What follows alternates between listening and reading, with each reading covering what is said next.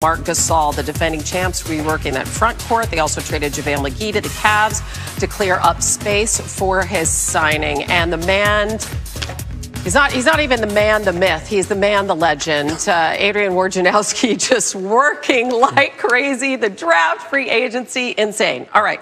So obviously the Lakers aren't resting on their laurels, right? So they trade for Dennis Schroeder. They add Gasol. They add Montrezl Harrell.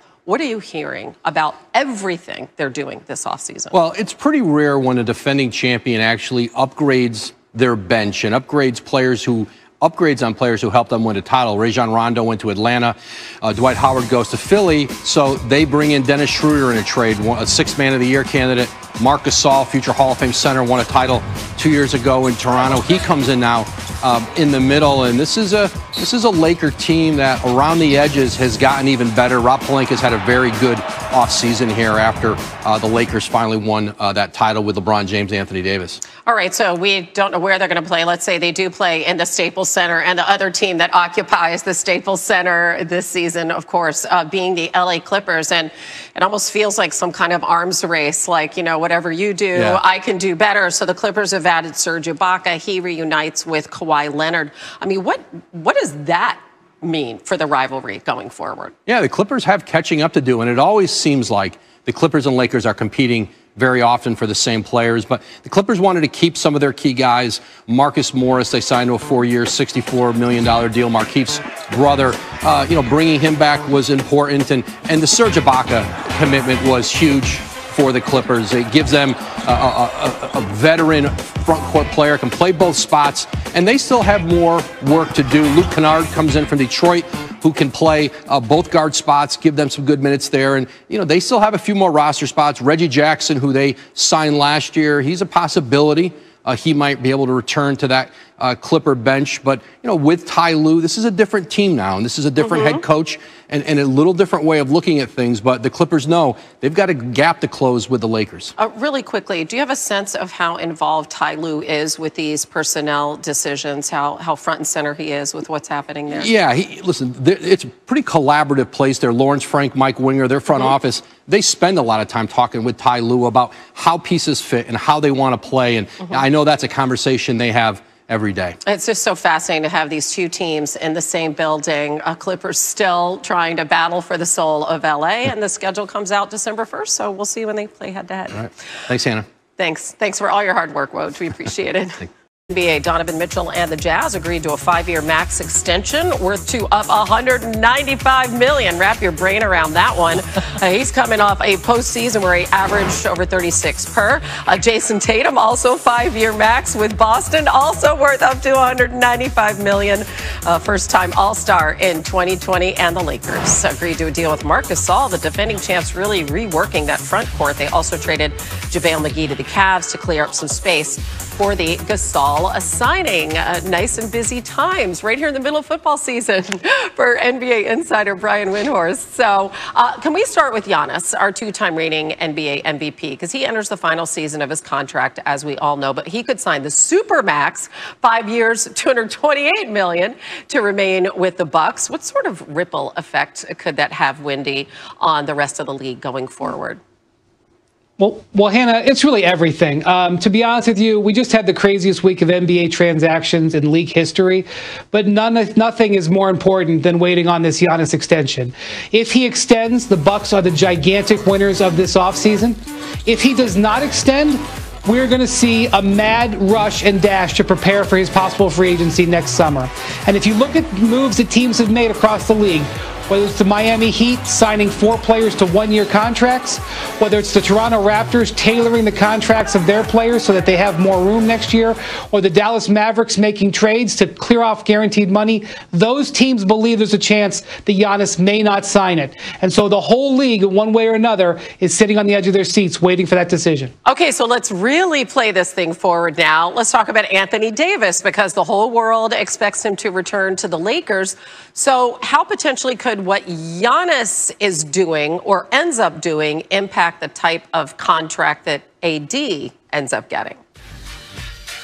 Yeah, it's unusual for AD to delay his re signing for, for this long. And one of the things he could be watching is what Giannis does.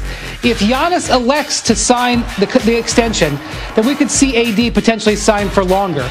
But if Giannis sets himself up to be a free agent next year, I know it seems hard for them to believe that the Lakers could do it, but that might spur Anthony Davis to only sign a one year contract with a player option, which is the kind of deal that LeBron James is on, to leave flexibility in Lakers payroll. So there's a lot of people watching Giannis Antetokounmpo right now.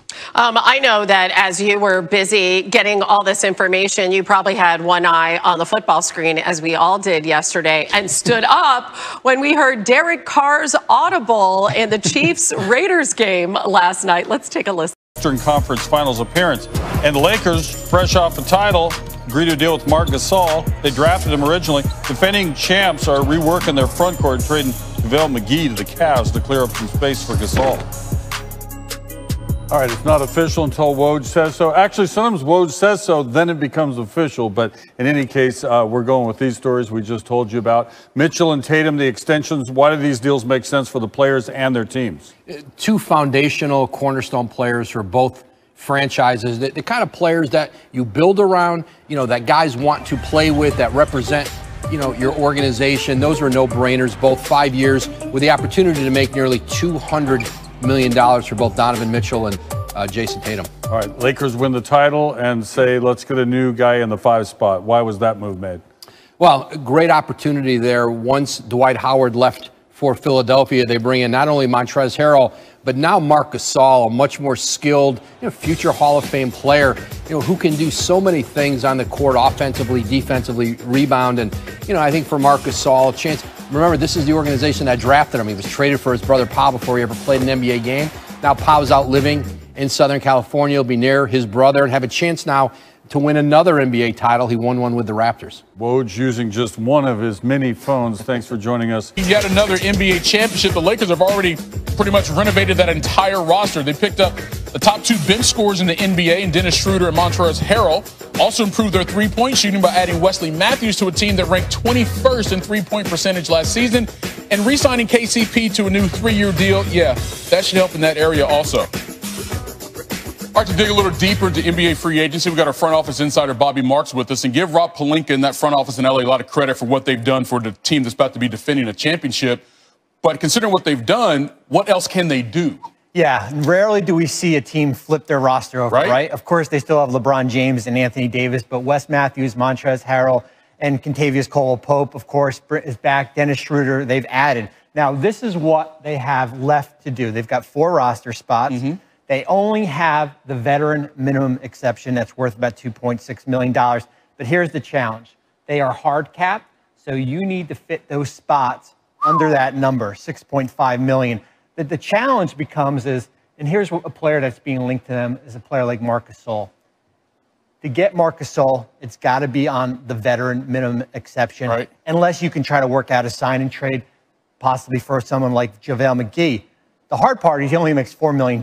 So you've got to make the money work. But so far, this team has really reshaped itself. Best team in the West right now. Yeah, it'd be interesting if Gasol wants to go West and try to win a second NBA championship.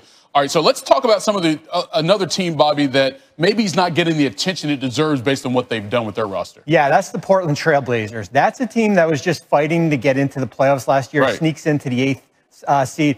I've got them as a number two team in the Western Conference really? right now. Yes, they okay. get an A plus for the offseason. I know we don't give trophies for the offseason. No, we do not. But they're getting it, they're getting it from me. And I think when we look at their roster, here's what they've been able to do. They've added Robert Covington from the Rockets. Yep. They've re-signed Rodney Hood. Of course, Damian Lillard, CJ